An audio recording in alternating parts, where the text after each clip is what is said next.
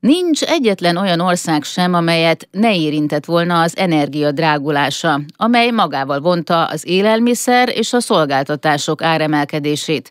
Az élelem ára elérte a tíz éves csúcsát.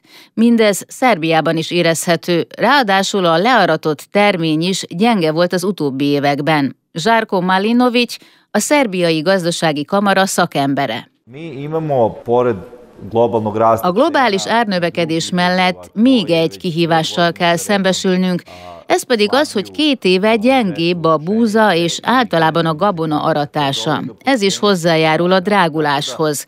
Minden termék, ami ebből készül, drágul, és a hús is, ami közvetett módon kötődik a gabonához, mert ezzel etetik az állatokat. Tehát ha a belföldi termékekről beszélünk, a gabona ára és a hús, a hústermékek ára jelentősen megnőtt. A Szerb Nemzeti Bank és a nemzetközi pénzintézetek szerint az árnövekedés akár őszig is eltarthat. Iván Nikolics közgazdász másban reménykedik.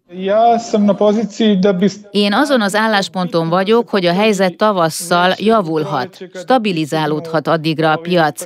Az energiával azonban baj lehet, bár ha nem történik geopolitikai probléma, és befejeződik a téli fűtési idény, előfordulhat, hogy a dolgok ezen a téren is stabilizálódnak. Az egyes államok különféleképpen próbáltak enyhíteni a kialakult nehéz helyzeten és lassítani az inflációt. Szerbiában például úgy, hogy az alapélelmiszerek árát november közepétől befagyasztották. Május 8-áig biztosan a régi áron vásárolhatunk, emellett február első felében bevezették az üzemanyag árstopját is más termékek árát is fixálhatják, legalábbis azt rebesgetik, hogy fontolgatják a lehetőséget, de egyelőre erről nem adtak ki hivatalos információt. Ami biztos, hogy az illetékes tárca folyamatosan követi a piaci helyzetet, Jasmin Hodzsics, a kereskedelmi miniszter helyettese. Ja očekujem da će doći do... Arra számítok, hogy megállapodnak, stabilizálódnak az árak. A várakozásunkat pedig arra alapozom, amit az év végén hozott rendelet hatása ért el. A decemberi rendelet meghozatala után észrevettük, hogy az inflációs nyomás intenzitása csökkent. Az infláció tehát ugyan tovább nőtt, de nem akkora intenzitással.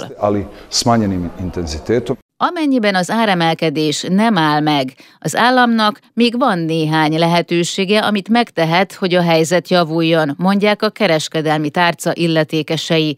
Beavatkozhat a piaci folyamatokba az árutartalékok által, vagy keretek közé szoríthatja a kereskedelmi marzsa nagyságát. Hasonló célból avatkozott az üzemanyagok árába, amikor 30 napra befagyasztotta azt, ami egyébként az infláció egyik fő mozgatórugója.